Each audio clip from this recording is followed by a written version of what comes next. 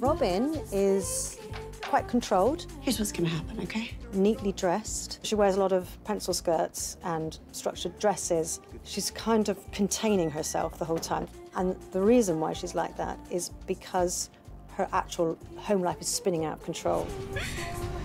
How people present and what pieces of themselves they choose to share with the world is something that I think everybody can relate to on some level. You choose what your profile picture is going to be on your social media page. You choose what filter you're going to put on your, your face when you know when you take a picture at someone's birthday party and post it on your Instagram, whatever. Like everyone does it. She does wear a lot of black, but what I liked about this is it had a little bit of pattern in it. It looks like a bit of a busy fabric, but it's a very structured dress. And I think Anna sort of felt when she put these on in the fitting, it was a good example of what her character is actually like. What's going on inside is just all over the place. I'm not going to fire you. thank you.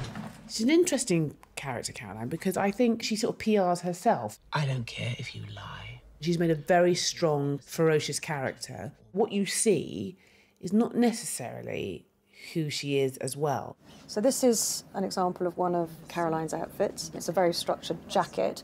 The idea for her was to sort of nip in the waist and have very full, quite long skirts. It gives her a lot of presence in the office. Tops that are one colour on one side, one colour on the other. It's very linear. And her hair's like that as well.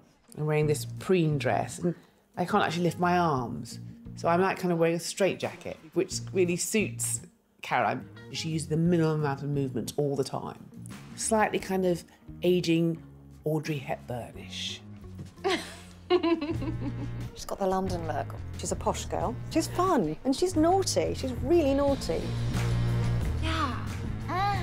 There's something quite sort of butch about the way Yeah. she manages her business life. She likes shoulder pads and she likes to power dress. These women are bossing around powerful celebrities. But she needs to be kind of ahead of the curve, Yeah. which is why she sort of needs to look on point all the time. It's quite traditional, but it's incredibly well cut. So, but she's got leather trousers on with it. A little bit more sort of funky and edgy. Then a piece of very expensive jewellery over the top of it. Eve's quite sarcastic. I quite like when clothes are a bit sarcastic. They're like, Yeah.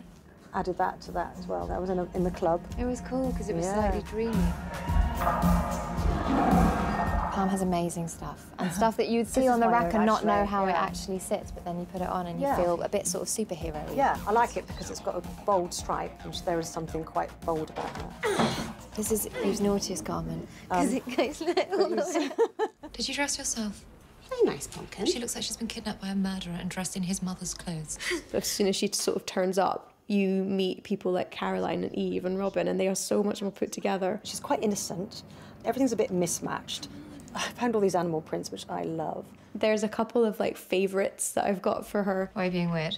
Have you farted? The shrimp sweater. Yep. Which is slightly teenage.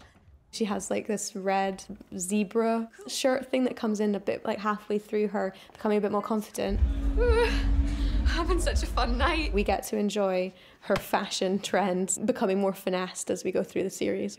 She starts to sort of dress a bit more demurely, not quite as outlandish. Navies rather than pinks. It, it's more mature, but we've still got a little bit of pattern on, on there somewhere, so she hasn't lost her identity completely. Are You coming to get drunk with us or not?